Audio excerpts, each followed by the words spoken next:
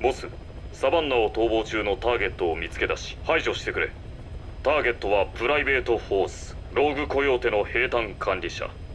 だが副業ではブータ政権と結託してムベレの村々から人を拉致労働力として供給していた。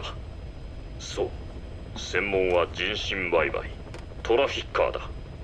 納入先は様々。売春宿臓器商人ダイヤの採掘場。それにあの悪魔の住処にシャバニたちを送ったのもこの男だ。ムベレ系の反政府勢力はついに奴を暗殺リストに載せた。ターゲットは引き際を悟り国外へ逃げ出そうとしている。国に帰れば奴はただの民間人。軍事法廷にかけられる心配もない。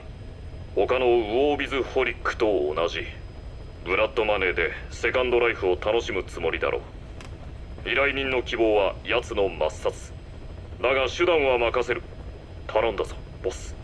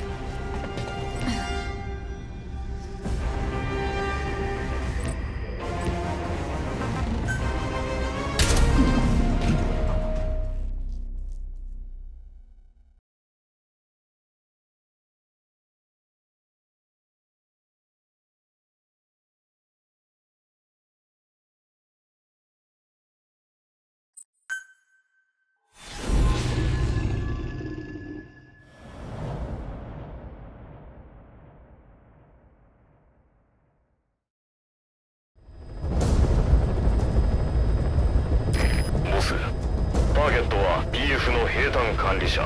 裏の顔は人身売買のトラフィッカー。依頼はこの男の抹殺だ。ターゲットは現在護衛と共にサバンナを逃亡中。だがそのルートは不明だ。手がかりはリハリソン落後の PF から発信された暗号無線。内容はターゲットの護衛計画のようだが解読には暗号鍵情報が必要となる。この暗号鍵情報リソン落後の通信施設にあるはずだ。端末でターゲットの用紙とリタリソン落後の位置を確認してくれ。まずは移動ルートを特定するのがいいだろうどうかお気をつけてボス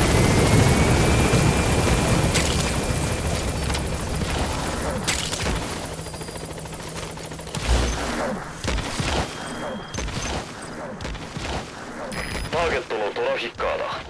ローグコヨーテの兵隊管理者だが護衛には別の PF つまり競合他社を使っているようだ。